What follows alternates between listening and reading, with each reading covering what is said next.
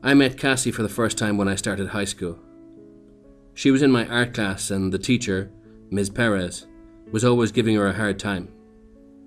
She was talented but lacked motivation, was what she used to say. Cassie didn't seem to care, and seemed more focused on whatever music was blasting in her earphones than on her art assignments. We started talking and found out we were both interested in the same kind of music. I had played the piano for a couple of years and she was taking guitar lessons. We both dabbled in songwriting and it didn't take long for us to join forces to start a band together. There were only the two of us in it, but we were young and mostly just spending our time daydreaming about making it big. Something changed in the middle of our sophomore year. Her family had been away over the holidays, and when we met again in January, I could tell that something was off. She looked tired in a way that I'd never seen her before, and she seemed unfocused. I asked her about it, and she just told me that she'd been having trouble sleeping. I kept prodding, and Cassie described having weird dreams of traveling through vast empty spaces. They weren't nightmares, as she wasn't scared, but when she woke up in the morning, she didn't feel rested either. Days passed, and she didn't get better. In fact, every morning the bags under her eyes seemed deeper in hue, and nothing could hold her attention for very long, except for art class. Looking at her as she was then, it was hard to imagine it being the same Cassie I'd seen roll her eyes at Miss Perez in her first year. As soon as she got a brush or a pencil in her hand, suddenly she came to life again. It was amazing to watch her as she worked, filling canvas after canvas with force and precision. Her paintings were like if Pollock had been an astrophysicist, bringing you into a different world as a lone explorer. From darkness and emptiness came lights, worlds, destruction, and silence. I was impressed, as everyone seemed to be but I worried about her. There was something I couldn't help but notice that troubled me about her painting her expression. While writing songs and playing guitar, creating out of joy, she was always leaving a trace of herself in it. Watching her paint, I didn't feel that. I felt determination, urgency, and fear. In our senior year, Cassie got offered a scholarship to some art school. She didn't have a lot of options. Her dedication to painting and listless approach to anything else meant her grades had dropped significantly. I asked her if she intended to take it, and she shrugged and said that it didn't matter. I urged her to go, telling her that she had a real talent, and that I knew she could make it big like we used to talk about. She looked at me then, the tiredness in her eyes bringing a hint of nostalgia to the surface, and a ghost of a smile. I hadn't seen her smile for so long, no matter how little. As graduation neared, Cassie told me that she was having a showing of her art.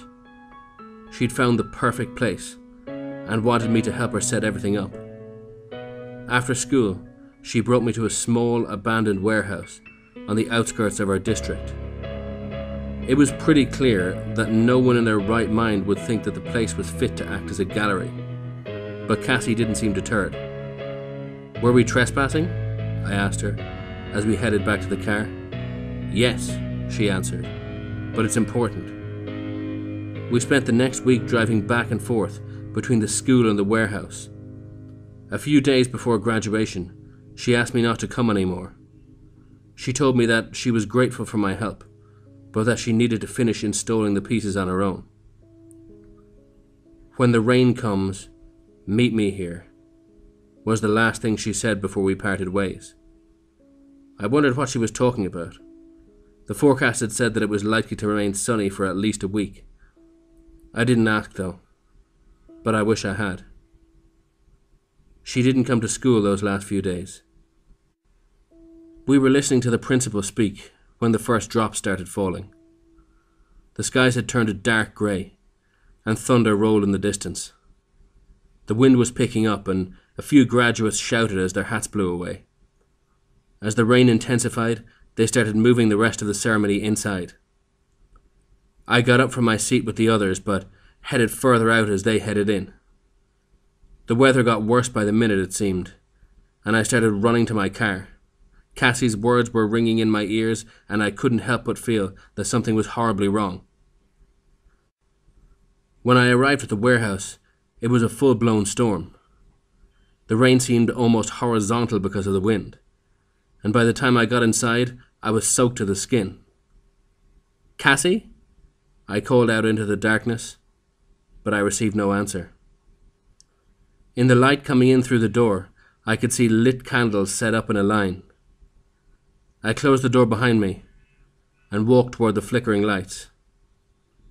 As I separated myself from the tempest outside, I started to make out the trail Cassie had made for me. Candles set up to illuminate the right path along the story she wanted to tell. I started walking at a slow pace between her paintings, letting her guide me. Before, I'd only ever seen her paintings as individual works with a common theme. Seeing them this way, lined up in their proper order, it became clear that they were much more than that. They were a journey. As I passed from one work to the next, I felt as if I was traveling across some vast expanse of space through the depths of our universe. I saw solar systems, galaxies, stars, planets pass me by. I saw world after world collapse and be destroyed, leaving fragments and moving on to the next. It was both amazing and terrifying. I wandered along the journey Cassie took me through when something started to dawn on me recognition. This was no longer just a brilliant visualization of the enormousness of space. It had a final destination. I felt myself grow cold. For each painting I passed, I grew more certain of what I would find at the end.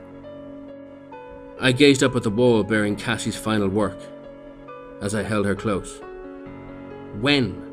I wanted to ask her, but I knew it would be impossible to wake her.